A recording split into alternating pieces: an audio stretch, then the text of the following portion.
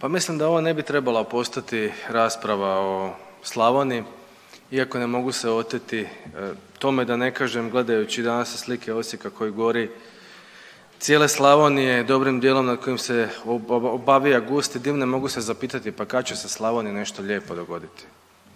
Jer očito da, da sreće nemamo. A prvo loše što nam se dogodilo je HDZ koji je na vlasti od početka ove države, a nakon toga odnosno kad je, kad je svoj teren zauzeo od tad se samo loše stvari događaju. Od demografske, gospodarske i svake druge devastacije, od Domovinskog rata doduše na koji nismo mogli utjecati niti spriječiti, ali čini mi se da nama nikako da krene. No, oprostite mi ovu jednu duboko osobnu konstataciju, volio bih sada preći na meritum ove rasprave.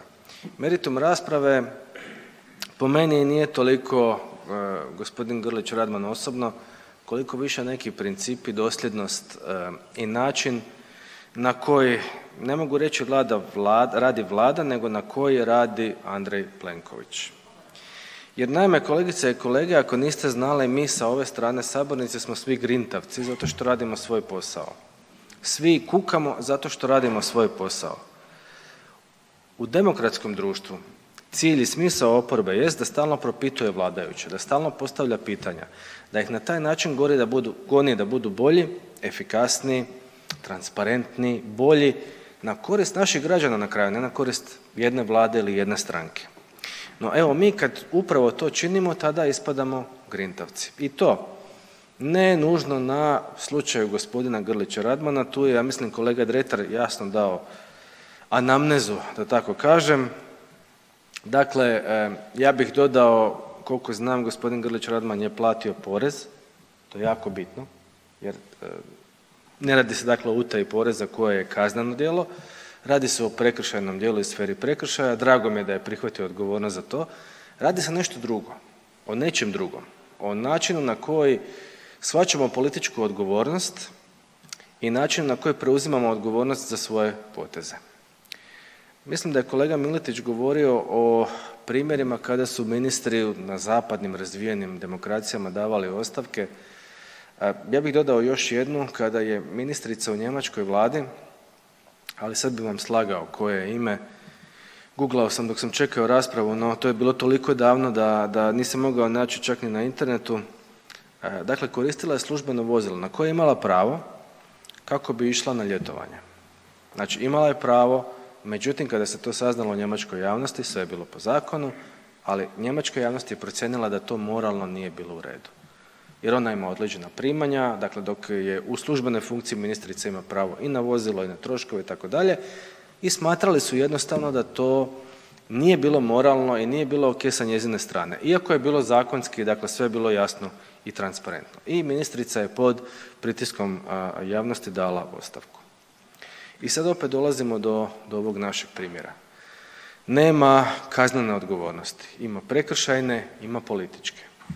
Ono što mene brine i što mene zabrinjava i zapravo danas smo svjedočili jednom pokušaju devalviranja uopće merituma ove rasprave strane predsjednika Vlade koji na jedan vrlo bahat i vulgaran način se raspravljao tu sa zastupnicima izbjegavajući zapravo meritum teme koje kako se on postavlja u slučajevima korupcije ili u slučajevima kada postoje indicije na koruptivna djela.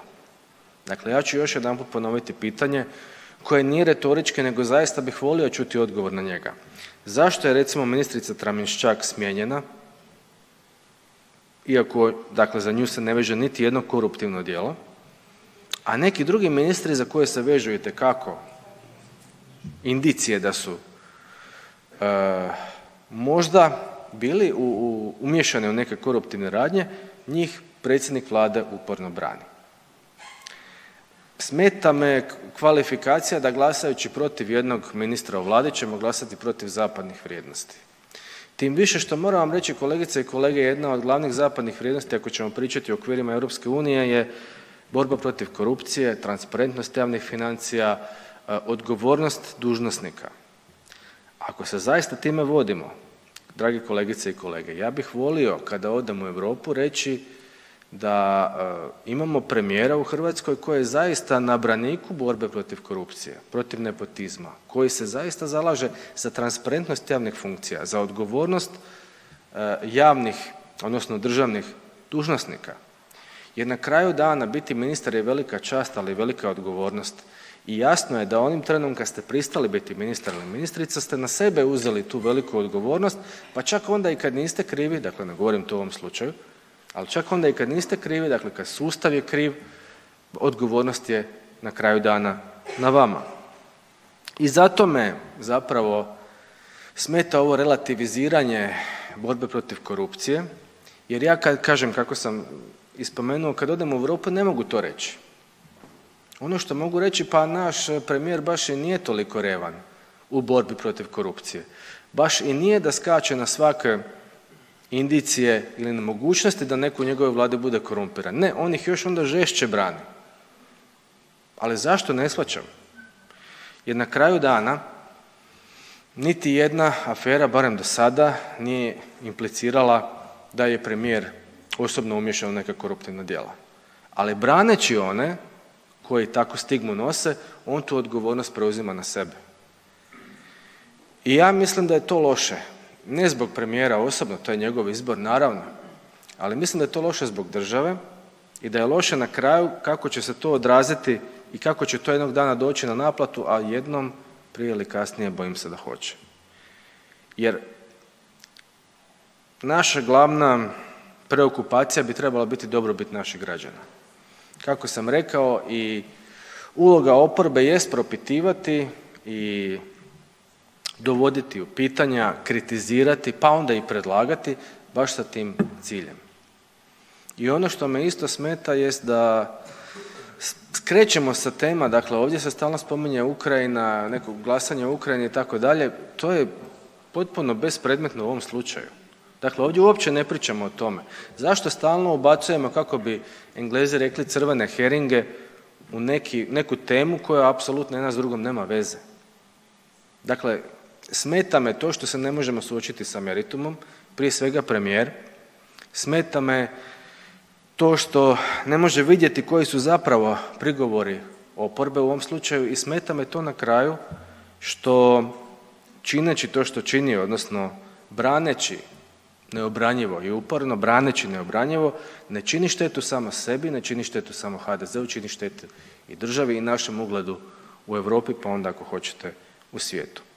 To bi trebalo biti suština današnje rasprave, niti Slavonija koja jest napaćena i zaslužuje raspravu i zaslužuje da se kaže o tome koliko je istok Hrvatske pogođen, ne e, osoba, lik i djelo gospodina Grlića Radmana nego upravo je ovo po meni meritum, a o tome smo čuli danas jako malo.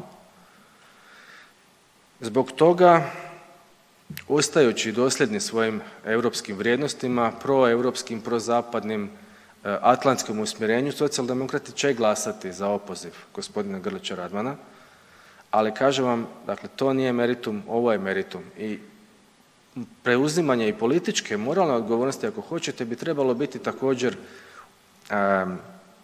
jedna od stvari koju morate uzeti na sebe kao mogućnost kada postajete ministar ili ministrica, a pogotovo kada se radi o nekim aferama ili o nekim mogućnostima da vas vežu za koruptivne afere. Dakle, ne bih rekao da je gospodin Grlić Radman uzrok, on je jedan od simptoma, možda malo benigniji nego inače, ali ništa manje značajan zbog toga jer trebamo preispitati zapravo kako ova Vlada odnosno ovaj premijer tretira temu korupcije, borbe protiv korupcije, transparentnosti i odgovornosti javnih dužnosnika, a bojim se da način na koji to čini je loš.